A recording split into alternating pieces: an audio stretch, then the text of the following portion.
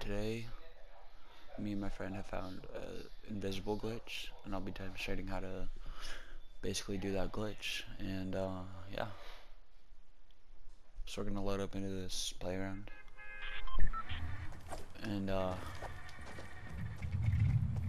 you basically have to get um, a shadow stone, and you have to um,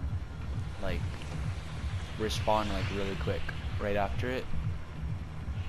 But it only lasts for like a little bit. Like you once you die it like disappears and you have to redo it. And it's kind of hard to do. You also have to uh, you have to go into your settings. You gotta scroll all the way down.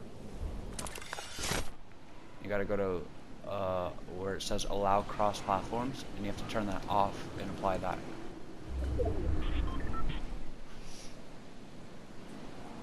done this many times with my friends, pranked my friends. It's pretty fun and funny. It's basically you just come to like a shadow stone like this, and then you go like that, you go like that, and it should work. If it doesn't, you're gonna have to keep trying to do that. Like it didn't work, so I'm gonna try again. Usually takes me like three or four tries to get it. Get it. You have to like do it as fast as you can.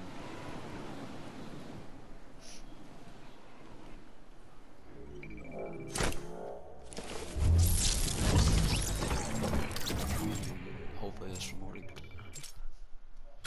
Yep, it worked. And basically invisible like that. You can't farm, but you can open llamas and pick up guns and shoot. I'll show you.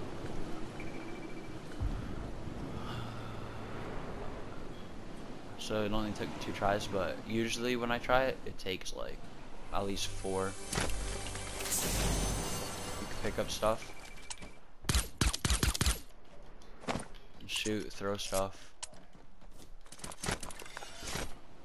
Uh, let me try to find a llama.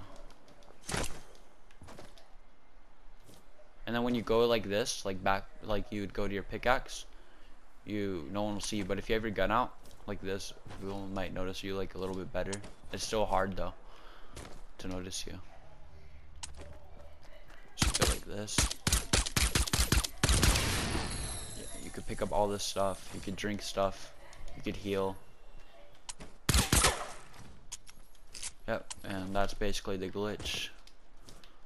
Uh, thanks for tuning in. Make sure to sub, comment, and like the video, and share this with your friends. Thank you. Have a good day.